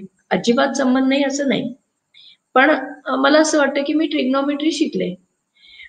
जे काही मंडळी इंजिनियर झाले असतील त्यांना त्याची आवश्यकता नंतर वाचली पण असेल. केमिस्ट्रीची सूत्र अनेक विज्ञान शाखेकडे ज्यांनी प्रवेश घेतलाय त्यांना गरजेची असतीलही. पण आता एच टू ओ आणि सीओ टू हे दोन सूत्र जर सोडली तर मला खरोखर काही आठवत नाही. पण त्यावेळी रात्री जागून जागून तो अभ्यास केला होता. आणि मग असं एक या गेल्या काही वर्षाच्या विचारातनं असं वाटायला लागलं की जगण्यासाठी च जे शिक्षण आहे ते आपण मुलांना खरंच खूप कमी देतो. व्याकरणाचा अतिरेक काही ठिकाणी होतं. उदाहरण द्यायचं झालं तर मी अभ्यासात काय खूप अगदी पहिली दुसरी येणारी विद्यार्थिनी कधीच नव्हते. माझ्या घरात मात्र सगळी मंडळी खूप अभ्यासात तर पुढे असलेली कायमच टॉपर असलेली अशी मंडळी होती. पण मला असं जाणवतं की म्हणजे माझ्या बहिणी ज्या आहेत कोणी एम ए संस्कृत केलंय बी एड केलेलं आहे त्यांची मुलं किंवा त्यांची त्यांचे विद्यार्थी हे कायमच युनिव्हर्सिटी किंवा बोर्डामध्ये टॉपर असले. तर त्यांच्यापैकी लिखाण किती जणांनी केलं? पुस्तकं किती जणांनी लिहिली? साहित्य क्षेत्रात त्यांचं योगदान काय होतं? हा एक संशोधनाचा विषय आहे असं मला नेहमीच वाटत आलं की मला असं वाटायचं की तुकाराम महाराज बहिणाबाई यांनी कुठे व्याकरण शिकलं होतं? पण त्यांची पुस्तकं आज अभ्यासली जात आहेत आणि आश्चर्य असं की माझं मराठी व्याकरण काही खूप छान नव्हतं. पण तरी सुद्धा नर्मदा परिक्रमा एक अंतरयात्रा हे पुस्तक एस एन डी टी युनिव्हर्सिटीनी तीन वर्षासाठी म्हणून अभ्यासक्रमात त्यांच्या ठेवलेलं होतं बी ए फायनल या वर्षासाठी. तर हे पण माझ्यासाठी एक आश्चर्य होतं की जीवनानुभव हा किती महत्त्वाचा आहे हे आपल्याला सगळ्यांना आधी बघितलं पाहिजे. आणि नंतर मग अभ्यासक्रम आपल्याला ठरवता आला पाहिजे. हे सगळं जेव्हा विचारमंथन चालू होतं तेव्हा पुन्हा एक गोष्ट जाणवली की सगळीच मुलं B A B com B S C किंवा आय टी क्षेत्रात जाणार नाहीयेत आमच्या गावातली. माझ्याकडे येणारी मुलं जी आहेत घरी आई वडिलांना लिहिता वाचता येत नाहीये. मग या मुलांना गृहपाठ दिला तर तो त्यांना समजत नाही बरेचदा. पूर्ण करून होत नाही. आणि दहावी झाल्यानंतर पुढे काय बारावी झाल्यानंतर पुढे काय हा प्रश्न उरणारच आहे. मग त्यांना आपण व्यवसाय प्रशिक्षण सुरुवातीपासूनच का देऊ? आजकाल आपल्या भारतामध्ये आत्मनिर्भर भारत यावर खूप काम चालू आहे. आमच्या या निमाड अभ्युदय संस्थेने मात्र दहा वर्षापासूनच हे काम सुरू केलेलं आहे की प्रत्येक भारतीय हा आत्मनिर्भर झाला पाहिजे. आणि म्हणून व्यवसाय प्रशिक्षण आम्ही या मुलांचं चालू केलं. मग हे व्यवसाय प्रशिक्षण कुठलं कुठलं आम्ही त्यांना देतो? तर जसं आम्हाला आम्ही इथे राहायला आले ती पण एक मोठी मजेशीर घटना आहे. व्यवसाय प्रशिक्षणाच्या आधी ती घटना सांगते. आता सध्या जिथे आमचं मुख्यालय आहे ती जागा आम्हाला एका नागा साधूंनी दान दिलेली आहे. त्यांचा पाच हजार चारशे स्क्वेअर फूट जमीन असलेला आणि त्यावर अडीच हजार स्क्वेअर फुटाचं बांधकाम असलेलं त्यातही मोठे मोठे हॉल्स होते. तो आश्रम त्यांनी दोन हजार बारा साली अचानक एक दिवस येऊन मला तो दान दिला. महिनाभरात त्याचं सगळं डॉक्युमेंटेशन वगैरे पूर्ण झालं. आणि मग मी इकडे राहायला आले पण एकटी कशी राहणार? कारण आमच्या आसपास आजही बिबट्या अगदी सहज दिसतात. आजही कोल्हे रात्री अंगणात येऊन पण बसतात. घोरपडी अगदी सहज फिरताना दिसतात. मुंगूस घोरपडी अनेक विषारी साप आमच्याकडे आहेत. आणि मग अशा ठिकाणी एकटं राहायचा कंटाळा पण येईल. म्हणून मी दोन तीन मुलांना विचारले की तुम्ही इतक्या लांब तीन साडेतीन किलोमीटर चालत येता शाळेत जायला. तर तुम्ही इथेच माझ्याबरोबर राहा त्यांच्या आई वडिलांना विचारलं. आणि ती मुलं इथे राहायला माझ्याबरोबर तयार झाली. सहावीत शिकणारी ही मुलं होती. तर तीन मुलं आणि मी अशी आम्ही इथे मंडळीत राहायला सुरुवात झाली. आसपास एकही घर नव्हतं. पूर्णपणे ओसाळ आपलं रान आणि शेती. चिटपाखरू दिसत नव्हतं तेव्हा. दिवसा उजेडी रात्री मात्र हे जे पशु पक्षी आहेत पक्ष जंगली पशु हे मात्र त्यांचा वावर सुरू व्हायचा. आमच्याकडे गवताचं रान माजलेलं होतं मात्र झाडं नव्हती. त्याच्यामध्ये पक्षी पण दिसायचे नाही. गवत सुद्धा खुरट गवत म्हणजे त्याच्यातही क्वचितच पक्षी दिसायचे. तर अशा ठिकाणी मी राहायला आले. तीन मुलांना घेऊन मी राहायला सुरुवात केली. आणि तीनचे करता करता तीनचे दहा पंधरा झाले अठरा वीस झाले. आणि आज आमच्या या नर्मदालयाच्या वसतिगृहामध्ये साठ आदिवासी मुलं माझ्यासोबत राहत आहेत. मग या मुलांचं जे काही फॅमिली बॅकग्राऊंड आहे ते जरा वेगळं आहे. ही मुलं सर सरदार सरोवराच्या बॅकवॉटर्स मधनं आमच्याकडे आलेली आहेत. काही खरगोन जिल्ह्यातल्या अतिदुर्गम भागात आलेली आहेत. यांच्याकडे आजही जायचं तर अनेक किलोमीटर पायी चालायला लागतं.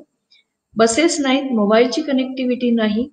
आणि आपण गाव म्हटलं तर आसपास घर आहेत असं नाही. तर एक घर इथे तर दुसरं घर एक दोन किलोमीटर अंतरावर तिसरं घर डोंगराच्या कुठल्या तरी एखाद्या कपारीमध्ये. अशा अशा ठिकाणी या मुलांची वस्ती आहे.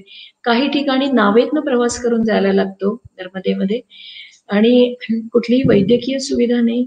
शाळा नावाला आहेत त्या फंक्शनल नाहीत. वै वैद्यकीय उपचार तर दूरची गोष्ट. तर अशी ही मुलं आता आपल्याकडे इथे वसतिगृहात राहत आहेत ती जेव्हा आपल्याकडे येतात तेव्हा वयाच्या आठव्या किंवा दहाव्या आठ दहा वर्षाच्या वयोगटामध्ये येतात. आणि सरकारी नियम असा आहे की दहा वर्षाचं मुलं असेल तर त्याला चौथीतच प्रवेश द्यायचा. पहिल्या सहा महिन्यात त्याचा अभ्यासक्रम तुम्ही भरून काढा आणि मग त्यांना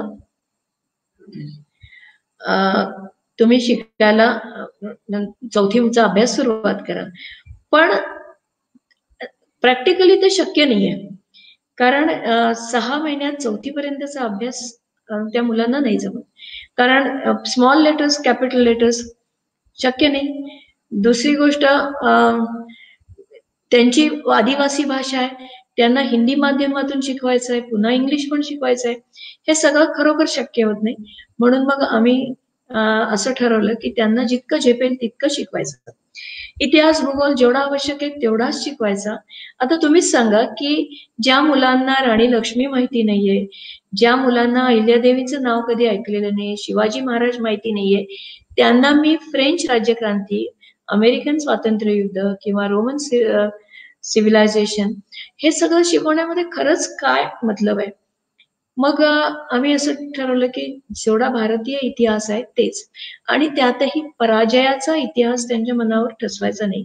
की मुघल आले त्यांनी आमच्यावर राज्य केलं. इंग्रज आले फ्रेंच आले पोर्तुगीज आले. आणि त्यांचे त्यांनी आमच्यावर राज्य केलं. हे सांगतो आम्ही त्यांना. नाही असं नाही. पण हे सांगताना आम्ही सांगतो कारण आपण संघटित नव्हतो. म्हणून संघटित होणं हे खूप गरजेचं आहे. एकत्र येऊन काम करणं खूप गरजेचं आहे. या सगळ्या गोष्टी त्यांच्या मनावर जेव्हा बिंबवतो तेव्हा त्यांच्या चेहऱ्यावरचे भाव खरंच बदलतात. आणि मग आम्ही त्यांना व्यवसाय प्रशिक्षण वयाच्या बाराव्या वर्षापासून चालू करतो. मग हे व्यवसाय प्रशिक्षण काय असतं? तर त्याच्यामध्ये लहान जी मुलं आहेत सहावीच्या पुढची सहावी ते आठवी पर्यंतची तर ते मोठ्या मुलांना मदत करतात प्रत्यक्ष कामात त्यांचा सहभाग वस्तू त्यांच्या हातात देणं इथपर्यंतच असतो. पण आठवीच्या पुढे जी मुलं आहेत त्यांना बेसिक प्लंबिंग बेसिक कार्पेंट्री किंवा गोशाळेमध्ये सफाई बर्मी कंपोस्ट म्हणजे गांडूळ खत जैविक शेती याचं प्रशिक्षण देतो. आणि माझ्याकडे जी काही मुलं दोन हजार बारा ते तेरा मध्ये राहायला आली होती. त्याच्यातल्या पाच मुलांना आम्ही महाराष्ट्रात विज्ञान आश्रम म्हणून जे खूप चांगलं ठिकाण आहे की जिथे व्यवसाय प्रशिक्षण दिलं जातं अशा ठिकाणी एक वर्षाचा डिप्लोमा इन बेसिक रुरल टेक्नॉलॉजीचा कोर्स करायला पाठवला. तो कोर्स करून ही मुलं परत आली. तिथे त्यांना चांगले जॉब मिळत होते. त्यांच्याकडे कॅम्पस इंटरव्ह्यू असतो. पण या मुलांनी उत्तर दिलं की दीदी तुम्ही जर आमच्यासाठी शहर सोडून खेड्यामध्ये आलेला आहात तर आम्ही खेड सोडून शहरात जाणार नाही. आम्ही आमच्या गावासाठीच काम करू. खरं सांगते की त्या क्षणी माझ्या डोळ्यामध्ये आनंदाश्रू उभे राहिले होते. कारण कुठल्याही अवॉर्डपेक्षा कुठलंही बक्षीस मिळवण्यापेक्षा या मुलांनी जे उत्तर दिलं ते माझ्यासाठी खूप समाधानकारक आणि माझी पण इच्छा आहे की मायग्रेशन होऊ नये स्थलांतर करून मुलांनी शहरामध्ये गर्दी करू नये. आणि गावच विकसित करावी. शहराच्या सारखी गावं करू नयेत पण आत्मनिर्भर अशी ही गावं करावीत असा आमचा एक प्रयत्न आहे. तर ह्या पाच मुलांनी मग पुढच्या मुलांना हे प्रशिक्षण द्यायला सुरुवात केली. ती विज्ञानाश्रमात जाऊन आलेली मुलं आता वीस बावीस वर्षाची आहेत. आणि आपल्याकडे कार्यकर्ते म्हणून ती मुलं काम करतात त्यांना आपण मानधन पण देतो चांग पगार देतो आणि मुलं खूप आनंदाने हे काम करतात. तर काय काय कामं झाली? मी हा सेशन संपल्यानंतर फेसबुकवर आमचा सहामाही वृत्तांत टाकणार आहे. तर त्याच्यामध्ये आपल्याला दिसेल की लॉकडाऊनच्या काळात सुद्धा आमच्या मुलांनी त्यांच्याच वसतिगृहाच्या डॉर्मेटरीचं डॉर्मेटरीसाठी दहा बारा टॉयलेट्स आणि दहा बारा बाथरूम्स बांधली तिथं ठेकेदारांनी बांधली. पण त्याचं प्लंबिंग आमच्या या सगळ्या मुलांनी केलं. त्याच्यात टाईल्स लावण्याचं काम पण आमच्या मुलांनी केलंय. त्यांना मार्गदर्शन मिळत होतं. पुन्हा या मुलांनी कार्पेंट्री शिकायला सुरुवात केली आहे मला सांगायला खूप अभिमान वाटतो की आमच्या शाळेमध्ये कार्पेंटर येतच नाही. शाळेचं पूर्ण फर्निचर आमची मुलं स्वतःच बनवतात. बेंच डेस्क कपाट टेबल चप्पल स्टँड खुर्च्या नंतर आमच्याकडे डायनिंग टेबल आहे. कारण काही ज्येष्ठ नागरिक जेव्हा इकडे हे काम बघायला येतात त्यांना खालती बसायला त्रास होतो. मग त्यांच्यासाठी डायनिंग टेबल अशा अनेक वस्तू ही मुलं इथे सहज अगदी लिलया बनवतात त्यांना खूप मजा येते. आता हे जे काही वीस बावीस टॉयलेट बाथरूम्स बांधले तर तुम्हाला ऐकून खूप आश्चर्य वाटेल की याच्यासाठी जे दरवाजे बनवलेत हे दरवाजे आमच्या मुलांनी स्वतः इथे बनवलेले आहेत. आमच्याकडे इलेक्ट्रिशियन एकदाच येतो कारण जेव्हा पूर्ण बिल्डिंगचं इलेक्ट्रिफिकेशन होतं तेव्हा एक मास्टर इलेक्ट्रिशियन येतो. पण नंतर काही रिपेअर करायचं असेल तर त्याच्यासाठी इलेक्ट्रिशियन येत नाही. सीसीटीव्हीचं इन्स्टॉलेशन आमच्या मुलांनी स्वतः केलं होतं. तर अशा प्रकारची खूप वेगवेगळी कामं ही मुलं इथे शिकतात जैविक शेती करतात नांगरणं पण आहे. आणि त्याच्याच जोडीने ही मुलं स्वयंपाकामध्ये पण खूप इंटरेस्ट घेतात. आमच्याकडे स्वयंपाकासाठी ज्या बायका येतात त्यांना यायला सकाळचे आठ वाजतात कारण त्यांच्या घरचं आटपून येतात. तर तोपर्यंत या मुलांची नाश्त्याची वेळ झालेली असते. तर दहावीतली मुलं जी आहेत ही मुलं साठ वसतिगृहातली मुलं आणि पंधरा वीस आम्ही कार्यकर्ते. असा सत्तर ऐंशी जणांचा नाश्ता दहावीतलीच मुलं बनवतात आणि अत्यंत सुंदर बनवतात. काय काय बनवतात ही मुलं नाश्ता? त्याच्यामध्ये उपमा असतो पोहे असतात इडली असते डोसा असतो. आणि आमच्या मुलांना बुंदी बनवता येते जिलेबी बनवता येते. अगदी तुम्ही त्यांच्याकडनं आता एका मुलाचा वाढदिवस होता तर एवढ्या सगळ्यांची पुरणपोळ्या सुद्धा आमच्याकडे आमच्या डायनिंग म्हणजे स्वयंपाकघरामध्ये तयार झाल्या होत्या. तर असं हे एक वेगळ्या प्रकारचं प्रशिक्षण या मुलांना आपण देतो आहोत. आणि हे सगळं करत असताना अभ्यासात ही मुलं कुठेही मागे नाहीत. दहावीत काही मुलं अशी आहेत की त्यांना ऐंशी पंच्याऐंशीच्या पुढेच मार्क्स मिळतात.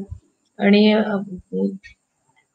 त्यांनी ठरवलंय की आम्हाला पुढे खूप छान शिकायचं आहे शिकून पुन्हा गावांसाठीच काम करायचं आहे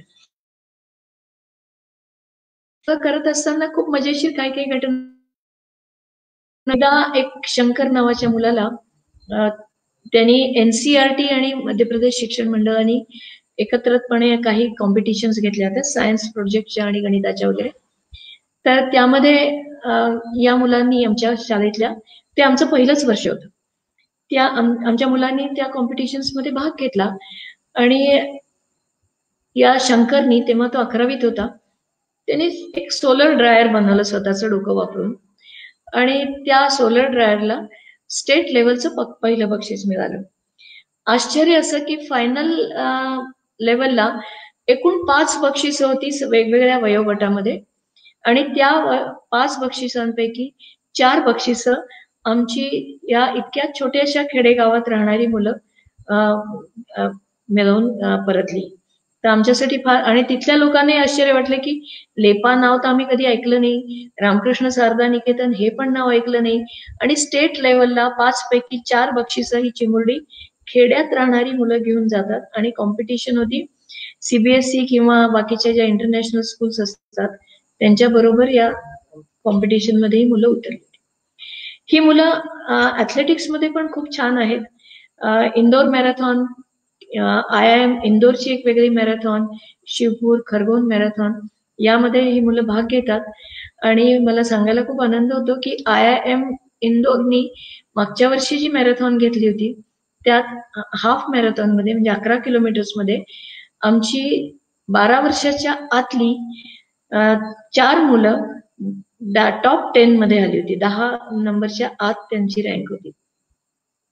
इंदोर मॅरेथॉनमध्ये त्यांना प्रवेशच नाकारत होते कारण ही मुलं धावणार नाहीत त्यांना त्रास होईल. आम्ही जरा थोडस मस्का मारून त्यांना सांगितलं की ठीक आहे जेवढं धावतील तेवढं धावतील. पण त्यांना हौस आहे तर थोडं धावू द्यात. तर त्या मोठ्या मुश्किलीने त्यांचं रजिस्ट्रेशन झालं. आणि आश्चर्य असं की ही मुलं टॉप सिक्स्टी फायमध्ये आली. पाच हजार लोकांमध्ये टॉप सिक्स्टी फायमध्ये होती. तीन वर्षापूर्वीची तीन चार वर्षापूर्वीची घटना आहे. आणि मग मात्र ज्या लोकांनी यांचं रजिस्ट्रेशन नाकारलं होतं त्यांच्या वेब पेजवर या मुलांचे कौतुकाने त्यांनी फोटो टाकले होते. तर अशी ही मुलं आहेत. ज्यांनी सोलर ड्रायर बनवला होता त्यांनी आणखी नंतर एक काम केलं की भाभा ॲटॉमिक रिसर्च सेंटरचं जे रुरल टेक्नॉलॉजी डिपार्टमेंट आहे त्यांना पण एक मेल पाठवली आणि ते ते लोक जे सोलर ड्रायर बनवतात ते आम्हाला बघता येईल का अशी विचारणा केली. त्याच्याबरोबर राघव नावाचा पण आमचा एक कार्यकर्ता तिथे गेला होता. आणि तिथे पोहोचल्यानंतर गेटवर मात्र यांना अडवण्यात आलं. कारण हा तेव्हा सतराच वर्षाचा होता. राघवला म्हणाले की राघव तू जाऊ शकतोस पण याला नाही जात येणार. आता हा थोडा हिरमुसला आणि राघवलाही असं वाटलं की सोलर ड्रायर तर पहिल्यांदा यांनी बनवलेला आहे. राघवला इंटरेस्ट खूप होता पण सोलर ड्रायर निर्मिती तर यांनी केलेली आहे. मग त्यांनी तिथल्या रुरल टेक्नॉलॉजी डिपार्टमेंटच्या डायरेक्टरना फोन लावला. थोडस चिडून ते म्हणाले की अहो आम्ही इतक्या लांबून आलो मध्य प्रदेश मधल्या खरगोन जिल्ह्यातनं आलोत आणि तुम्ही आम्हाला इथून परत पाठवता. तर ते म्हणाले कुठून आलात? खरगोन मधनं थांब म्हणा खरगोन मधले कुठ गाव कुठलं तुझं? तर म्हणाले की कसरावत तालुक्यात लेपा नावाचं गाव आहे. छोटस खेड आहे. ते म्हणाले तू जिथे आहेस तिथे थांब मी स्वतः येतो. ते स्वतः या मुलांना रिसिव्ह करायला तिथे पोहोचले आणि कौतुकाने त्यांना त्यांचा पूर्ण प्रोजेक्ट दाखवला सतरा वर्षाच्या मुलाला घेऊन गेले. या दोन्ही मुलांशी बोलताना त्यांना असं जाणवलं की या मुलांमध्ये काहीतरी स्पार्क आहे. आणि मग त्यांनी मला तिथून फोन केला नंबर माझा घेऊन या मुलांकडनं. आणि म्हणाले की दिदी माझी खूप दिवसांपासूनची इच्छा होती की माझ्या आश्चर्य असं की त्यांचं स्वतःचं जन्मस्थान आमच्या गावापासून पंधरा किलोमीटर अंतरावर त्यांचं आठवी पर्यंतचं शिक्षण याच गावात झालेलं. तर ते म्हणाले की माझ्या जन्मभूमीसाठी काहीतरी काम करायची माझी इच्छा आहे. ते तुमच्या या संस्थेच्या माध्यमातून होताना दिसतंय असं मला वाटतं. तर बाबा ॲटॉमिक रिसर्च सेंटरच्या रुरल टेक्नॉलॉजी डिपार्टमेंटची एक स्कीम आहे आकृती नर्मदा नावानी. तर त्यामध्ये तुम्ही आमच्याशी सहभागी होऊ शकता. आणि आमचं एक आउटरीच सेंटर तुमच्याकडे चालू करता येऊ शकतं. अशा पद्धतीने तीन जुलै दोन हजार सतराला भाभा ऑटोमिक रिसर्च सेंटर बरोबर आमचं जे काय कोलॅबरेशन होतं त्या माध्यमातून इथे व्होकेशनल ट्रेनिंग सेंटर सुरू झालं रुरल टेक्नॉलॉजीमध्ये आणि त्यांच्या मार्गदर्शनाखाली आम्ही इथे आता सध्या सोलर ड्रायर्सची निर्मिती करतो आहोत. आणि आमचे सोलर ड्रायर्स नागालँड गुजरात महाराष्ट्र अशा अनेक ठिकाणी आता सध्या पोचत आहेत तर हे आमच्यासाठी खरंच खूप कौतुकाची गोष्ट होती आणि त्याहूनही आनंदाची गोष्ट अशी होती की या आउटरीच सेंटरचं उद्घाटन करायला स्वतः डॉक्टर अनिल काकोडकर पद्मविभूषण डॉक्टर अनिल काकोडकर आमच्या या छोट्याशा खेड्यामध्ये आले होते आणि आमच्या आयुष्यातला तो सगळ्यात आनंदाचा क्षण होता. तर अशा प्रकारचं हे काम गेल्या अनेक वर्षां म्हणजे दहा वर्षांपासून चालू आहे. एक वेगळा अजून प्रयोग आम्ही करतो आहोत. तो प्रयोग असा की ही मुलं खूप सुंदर गातात. आदिवासी मुलं जी आहेत त्यांच्या एक रक्तातच सूर आणि ताल असतो. तर जेव्हा समज जाणवलं की मुलं छान गाऊ शकतात तर इंदोरहून माझी एक मैत्रीण शुभदा मराठे शास्त्रीय संगीत गायिका आहे. खूप मोठं नाव आहे तिचं या क्षेत्रात. तर ती म्हणाली की काही हरकत नाही मी येऊन महिन्यातनं चार पाच दिवस या मुलांना शास्त्रीय संगीत शिकवूच. आहे आता शास्त्रीय संगीताची चौथी परीक्षा गांधर्व महाविद्यालयाची ही मुलं देणार आहेत. पण हे संगीत शिकत असताना एकदा असंच गप्पा मारत असताना मी तिला म्हटलं की अगं आपल्याला म्हणजे आपल्या पिढीला जे आता साठीच्या आसपास आहेत किंवा साठी उलटलेली आहे या सगळ्याच आपल्या लोकांना आपल्या लहानपणीच्या सगळ्या कविता आठवतात. आता मात्र मुलांना कविता आठवतच नाहीत. आणि शाळेमध्ये सुद्धा baba black sheep twinkle twinkle किंवा जॅक अँजल लिटल अशा काही कवि कविता मुलांना शिकवल्या जातात. पुढे कवितेशी त्यांचा संपर्क सुटतो. शाळेत कविता असतात पाठ्यपुस्तकात पण प्रश्नोत्तराच्या पलीकडे काही पाठांतर वगैरे करतात असं वाटत नाही. पण कविता म्हणता आली पाहिजे त्याचा रसास्वाद त्यांना समजला पाहिजे गुणगुणता आलं पाहिजे कविता. तर काय करता येईल? तर तिने फारच म्हणजे अगदी जादूची कांडीच फिरवल्यासारखं केलं. या सगळ्या कवितांना पहिल्या इयत्तेपासून तर आठव्या इयत्तेपर्यंतच्या कवितांना तिने शास्त्रीय रागांवर तर काही लोकसंगीतावर आधारित काही पॉप म्युझिकवर आधारित अशा चाली दिल्या. आणि त्या कवितांचा आमचा एक खूप सुंदर असा वाद्यवृंद आहे. आपण ज्याला ऑर्केस्ट्रा म्हणतो मला असं वाटतं की संपूर्ण भारतातला फक्त पाठ्यपुस्तकातल्या कवितांचा असा हा पहिला ऑर्केस्ट्रा असावा. आणि याचे कार्यक्रम अनेक ठिकाणी होतात. मुंबईत रिझर्व्ह बँक ऑफ इंडियामध्ये पण झालेला आहे. रिझर्व्ह बँकेच्या अनेक अधिकाऱ्यांची ही आमची जी मुलं आहेत ही खूप लाडकी आहेत. आणि आवर्जून ती मंडळी भेट द्यायला आमच्याकडे वर्षातून एखादी तरी चक्कर मारतातच मारतात. त्या जोडीला रॅली फॉर रिव्हर्स हा सद्गुरु जग्गी वासुदेवांचा जो कार्यक्रम आहे त्यात ही मुलं गायलेली आहेत. आणि त्यात थोडं वेगळं पण होतं या त्या कार्यक्रमात या मुलांनी वासुदेवानंद सरस्वतींच्या नद्यां ची स्तोत्र गाऊन दाखवली पंधरा वेगवेगळ्या रागांमध्ये. नंतर हा शंकराचार्यांची असंख्य स्तोत्र या मुलांची कंठस्थ आहेत. वासुदेवानंद सरस्वतींची अनेक स्तोत्र कंठस्थ आहेत. आणि कंठस्थ करण्यामागचा करवण्यामागचा माझा एक उद्देश आहे की त्यांचे उच्चार स्पष्ट व्हावेत. आणि पाठांतरामुळे रोज जे पठन केल्यामुळे जे काय एक प्राणायाम पण घडतो. यामध्ये कुठलाही धार्मिक भाव आहे असं मी दावा करत नाही. पण त्यांनी एक त्यांची स्मरणशक्ती पण वाढते.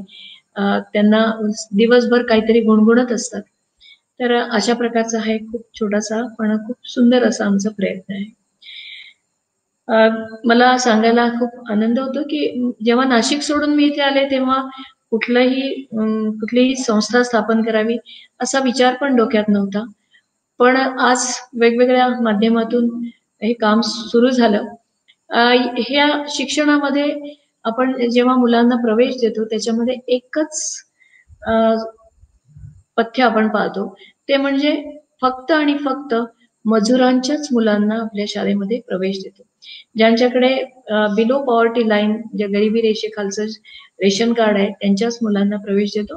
आणि आम्ही प्रत्यक्ष जाऊन बघतो पण की ही मुलं खरंच अशाच कुटुंबातली आहेत की नाही? एक खूप विलक्षण घटना घडली होती. मी पाच मिनिटं जास्त घेतली तर चालेल. असं मी गृहित धरते. चार पाच चार एक वर्षापूर्वी आमच्या भट्ट्याणच्या शाळेमध्ये आमच्या शिक्षिकेनी तक्रार केली की काही चार पाच सख्खी भावंड त्यांच्या घराच्या आसपास म्हणजे झोपडीच्या आसपास फिरताना दिसतात पण आठ दिवस झाले शाळेत येत नाहीत. तर मी म्हटलं ठीक आहे मी जाताना विचारते त्यांना. परतीच्या वाटेवर जेव्हा मी त्यांना विचारायला गेले की तुम्ही शाळेत का येत नाहीत? तर मोठ्या मुलांनी बोर्ड दाखवलं त्यांच्या दरवाजाकडे आणि दरवाजात जेव्हा मी बघितलं तिथे तर त्याची आई सतरंजी टाकून तिथे झोपलेली होती आणि तो म्हणाला की आई आठ दिवसापासून आजारी आहे. वडील मालव्यामध्ये कापूस तोडायला गेलेले आहेत. आणि पहिले सुरुवातीचे चार एक दिवस आम्हाला शेजारी जे आहेत आमची त्यांनी खायला प्यायला दिलं. पण त्यानंतर आम्हाला किराणा दुकानदार पण उधार देत नाहीये.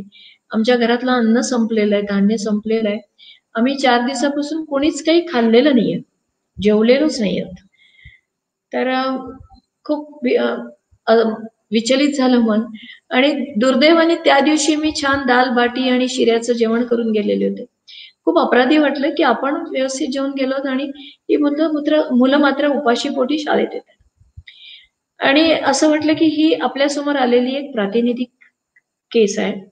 अशी असंख्य मुलं असतील की उपाशीच शाळेतच असतील.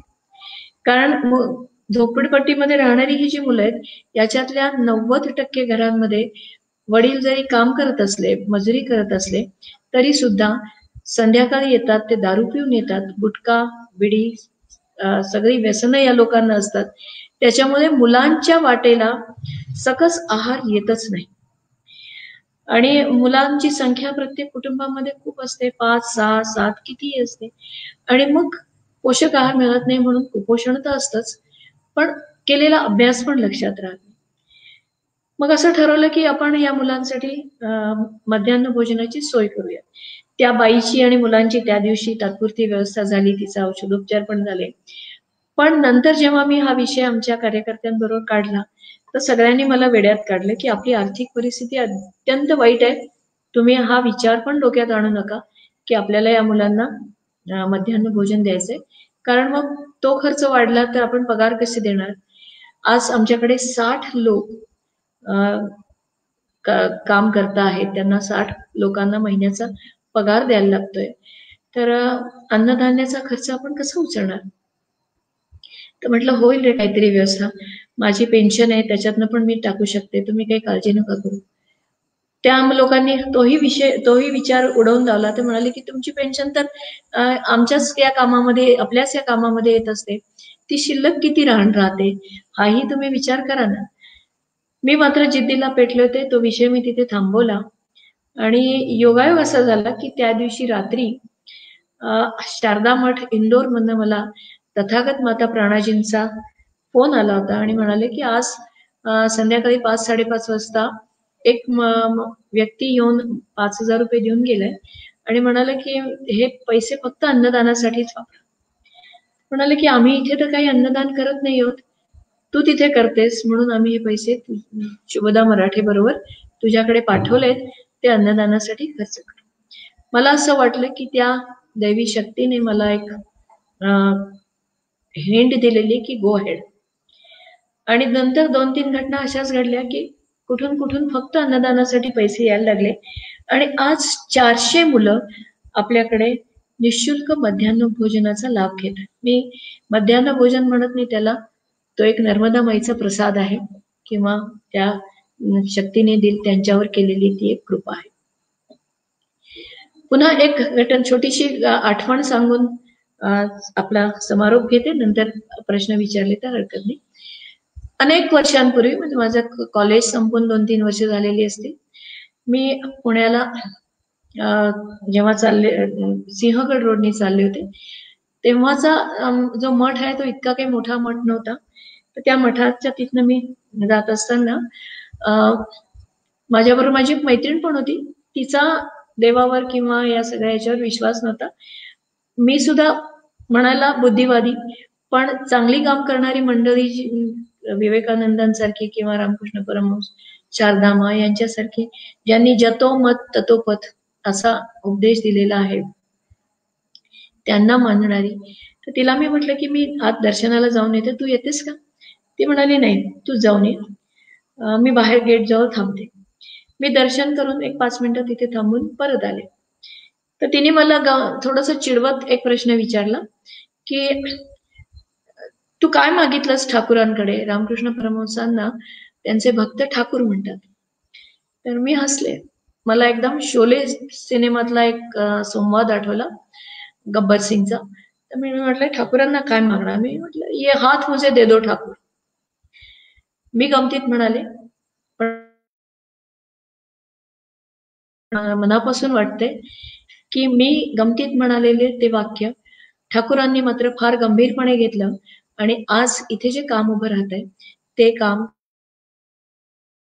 हातांच्या माध्यमातून उभं राहते life insurance corporation general insurance किंवा हिंदुस्तान पेट्रोलियम अशा अनेक संस्था म्हणजे प्रत्येकाचं नाव घेणं मी म्हटलं तर फार मोठं होईल. आता रिसेंटली सूर्या रोशनी लिमिटेड दिल्लीची संस्था यासारख्या संस्थांनी हे काम पुढे नेण्यासाठी आम्हाला आर्थिक पाठबळ दिलं. संस्थांनी इन्फ्रास्ट्रक्चरसाठी दिलं पण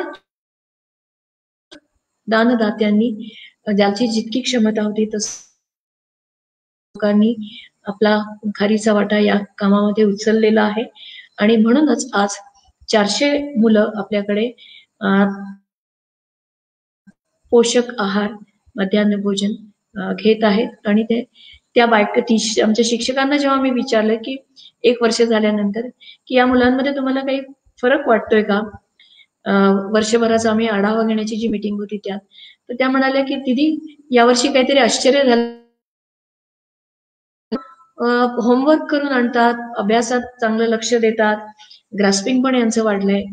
तर म्हटलं तुम्ही गेल्या तीन वर्षापासून शिकवता आहात. मग यावर्षी असं काय घडलं? तर त्यांना ते उत्तर देता आलं नाही. म्हटलं यावर्षी काय घडलं ते तुम्हाला सांगते.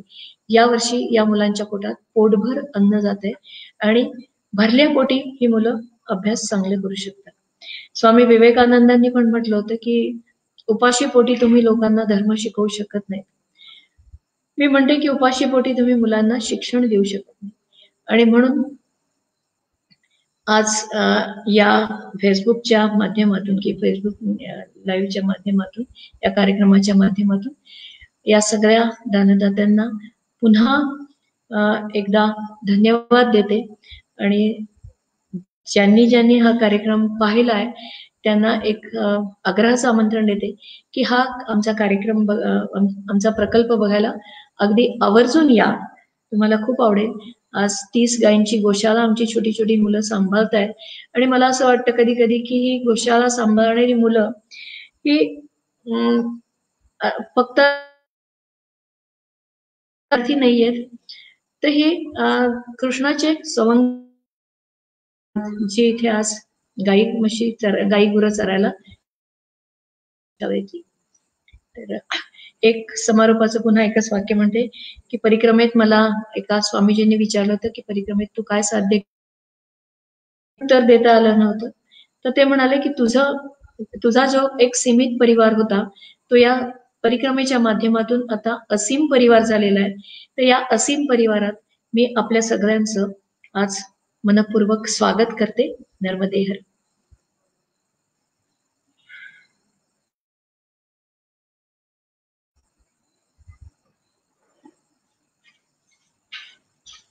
संपले